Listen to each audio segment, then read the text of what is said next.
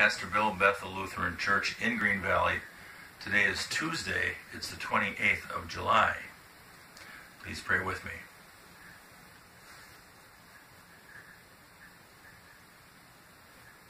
Lord, as time passes,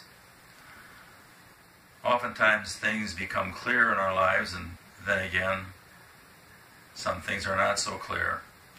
We look for answers.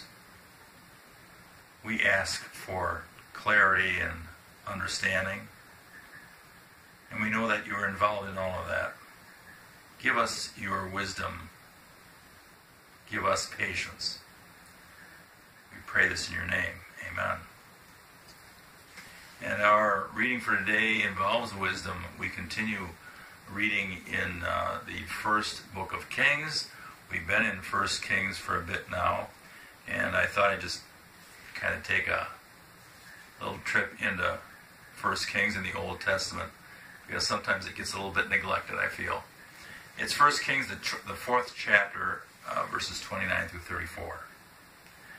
God gave Solomon wisdom, the deepest of understanding, and the largest of hearts. There was nothing beyond him, nothing he couldn't handle. Solomon's wisdom outclassed the vaunted wisdom of wise men of the East, outshone the famous wisdom of Egypt. He was wiser than anyone, wiser than Ethan the Ezrahite, wiser than Heman, wiser than Calcol, and Darda, the sons of Mahol. He became famous among all the surrounding nations. He created 3,000 proverbs. His songs added up to a thousand five. He knew all about plants, from the huge cedar that grows in Lebanon to the tiny hyssop that grows in the cracks of a wall. He understood everything about animals and birds, reptiles and fish. Sent by kings from all over the earth who had heard of his reputation, people came from far and near to listen to the wisdom of Solomon. And it was uh, just the other day that I talked about the wisdom of Solomon, about the two mothers who were fighting over the one living baby, the other had died, and how Solomon used his wisdom to perceive who was the true mother. And I talked also about how we pursue wisdom. Here, Solomon's wisdom is spoken of again. It's legendary, his wisdom that he shared, that he used, and which he was gifted with from God. We find ourselves in many situations in life when we would wish and we'd hope that we'd have the best wisdom in dealing with situations.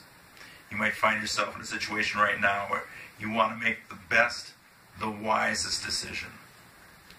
And you hope that your decision is the wisest possible. Never forget that the wisdom which you use in life is inspired by God. Never forget that your wisdom is not apart from God, but is indeed part of God's plan. Solomon lived his life as part of God's plan. We each are called also to live our lives along the path of Christ.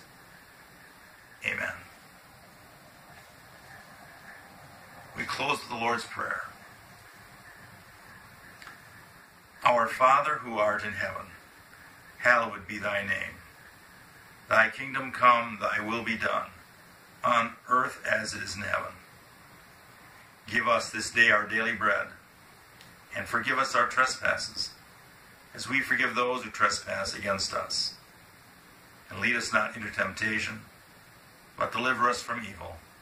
For thine is the kingdom, and the power, and the glory, forever and ever. Amen.